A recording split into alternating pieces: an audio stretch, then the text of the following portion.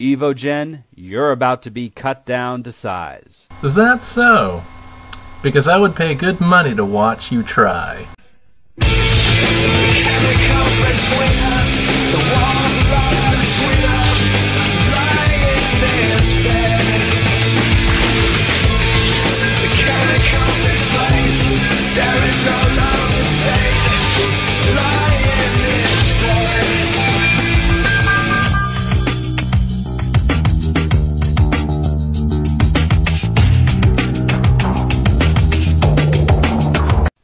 so much by me this time, but by your own sources.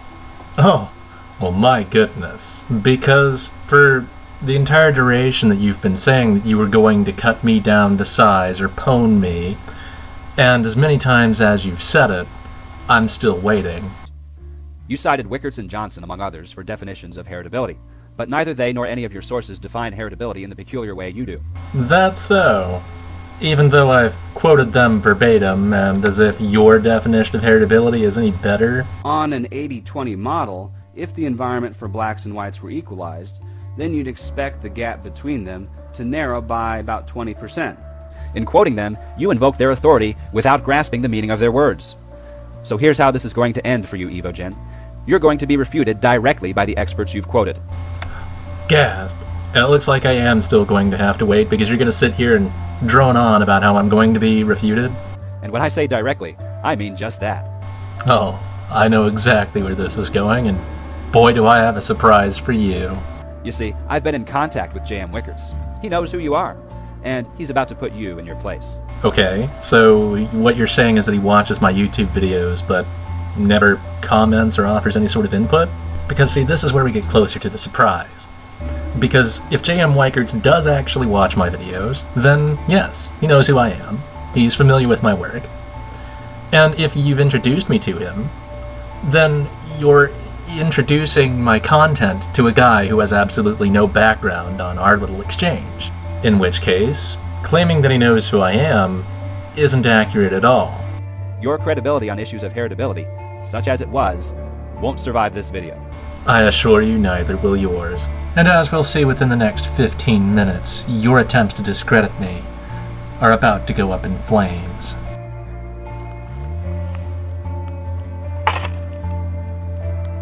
This might come off as a bit forward, but you have very attractive legs.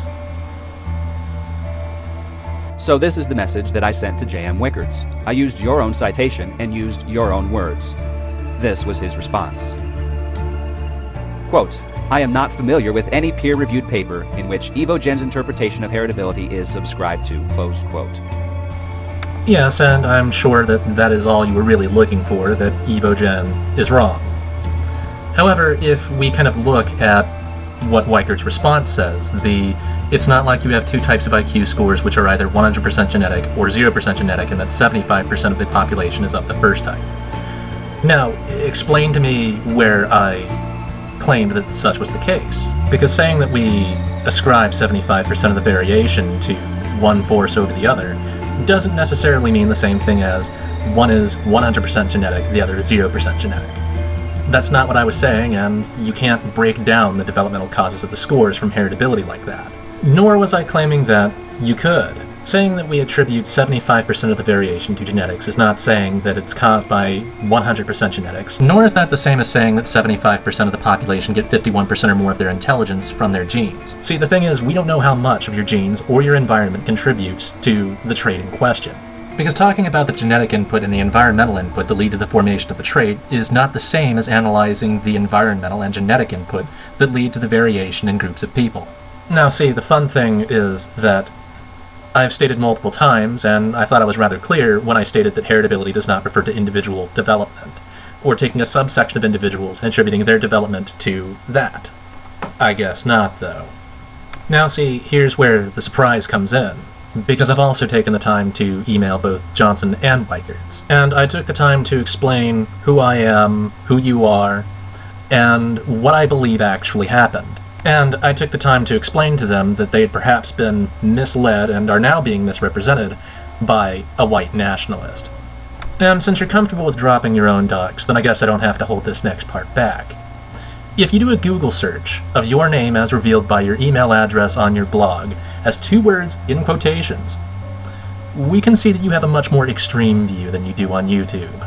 And I told them how to find that. Your name comes up in a number of Ayn Rand sort of websites and Randian objectivist websites, and apparently you're too extreme for them. As of yesterday morning, I've had correspondence with both Wicherts and Johnson.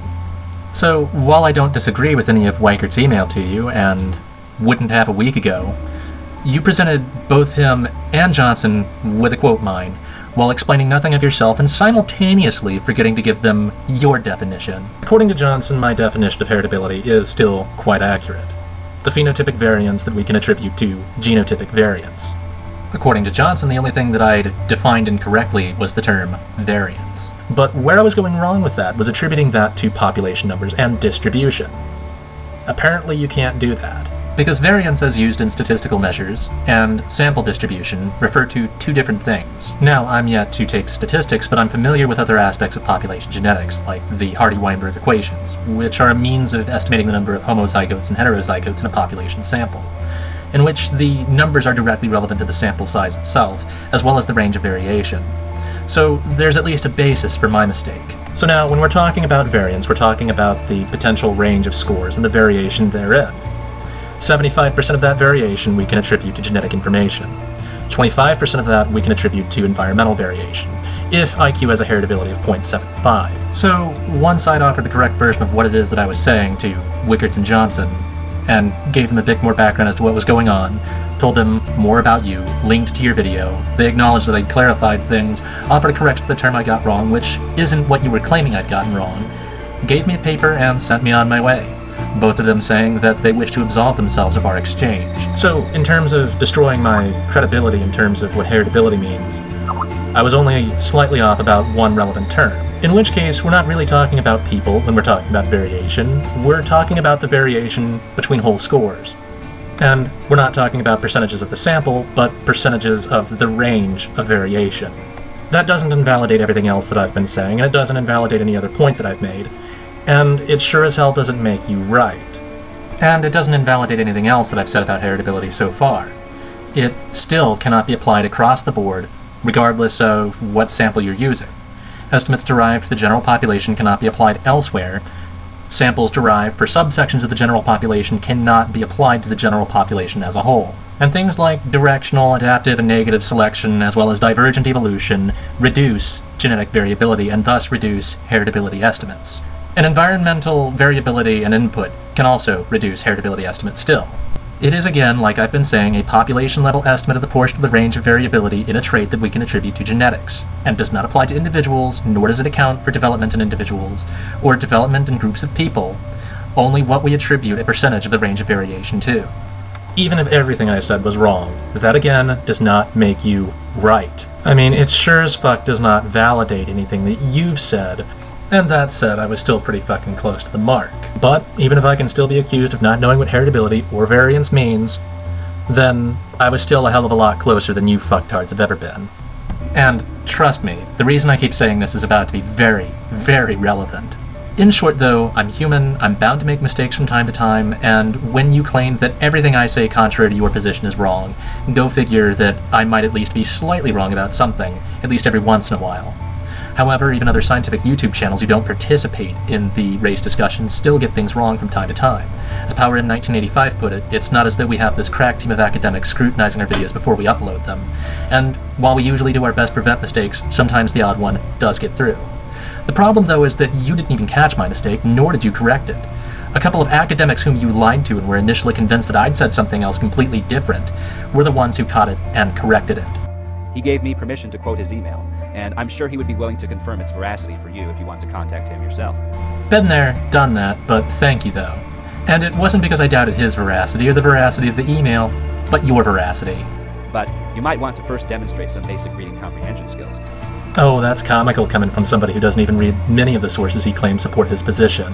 As I pointed out in my prior series to you, you hadn't bothered to read the 1996 APA meta-analysis on the North American racial IQ gap, the 2010 paper by Green et al., the 2010 paper by Hawks et al., The Descent of Man by Darwin, likely didn't read The Ancestor's Tale by Dawkins, didn't bother to watch but a few minutes of the debate between Suzuki and Rushton, and apparently hadn't bothered to read The Mismeasure of Man or a legitimate criticism of the book.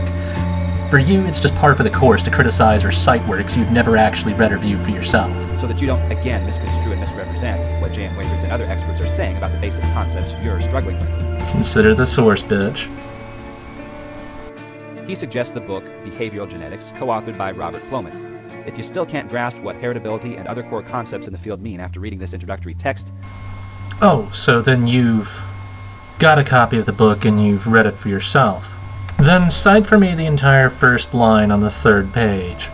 I mean, if you, this isn't more of your dickless positioning and you actually have the intellectual high ground, then that should be something that you're able to do. Because you've actually got a copy of the book, you bought it from Amazon or somewhere else, and you've read it. If you're just talking out of your ass and using someone else's book recommendation to justify it, then none of those words that you've just spoken mean anything then any further efforts by Wicherts, or Fringe Elements, or Libertarian Realist, or any of your mentors to teach you what heritability means will probably be futile. Actually, I'm pretty fucking offended that you even bothered to say this, because the implication is that while the experts have to go through years or even decades of hard work to be considered experts, you're somehow on the same pedestal. And you don't, because you've spent X number of years on Google and Wikipedia spouting the same bullshit over and over and over again. You haven't done any of the necessary hard work or attained the necessary education or field experience to call yourself or compare yourself to an expert. This isn't about getting to the truth of the matter for you and fringe elements, as much as it is for, say, Wicherts and my mentor. You see, you have a vested and emotional interest in the outcome of this discussion, this debate. Because, as we've seen, you have this tendency to accept, reject, and flat out ignore source material if it doesn't support your prior conclusion. You've even ignored where I've pointed out that papers you've cited or claimed to have read contradict your conclusion. So, there's nothing I can learn from you. And this is even assuming that you're knowledgeable about certain topics, and as we've seen, you're not. Oh, and I hardly call being slightly off struggling. What I would call struggling, however, is defining heritability to mean something relevant to the development in individuals. On an 80 20 model, if the environment for blacks and whites were equalized, then you'd expect the gap between them to narrow by about 20%. And heritability wouldn't tell you that. Or, of course, trying to shoehorn an interpretation of your prior definition into the actual definition. So let's rewind back to a previous part of your video, where you exposed your grossly ignorant definition of heritability. You know, the one you failed to give to Wicherts and Johnson? A heritability of 0.75 could result from all individual IQ variances being 75% genetic and some being more and some being less. So, what do you think Wicherts would have to say about your definition here? In the parts of the email chain that you did show, I didn't actually see you giving him that definition, and yet that's the way you've been defining heritability for about the last year or so. And given a number of the things that you giggled at in the end of your video, you appear to still seem to believe that that is the case. But I have a feeling that had you done that, you wouldn't have been so open with showing your email and Wicherts' email. Nor would you have had the mendacity to say this. Either you can comprehend the words proportion of phenotypic trait variance that can be attributed to genetic variance, or you can't. But for all of your lies, flagrant stupidity, and cowardice, what I find to be the most glaringly obvious in your video, besides the fact that you attempted to lie about the definition you personally have been using, and the one that I've been using, is the fact that you don't appear to have a genuine understanding of what it is that Wicherts and Johnson told you. You just quoted them verbatim when you criticized anything I had to say about heritability, and made it sound as though it was something you'd been saying all along claiming that you'd always been arguing for that, and claiming that, well, uh, this is what we've been trying to tell you. No, it's not. You're a fucking liar and a dumbass.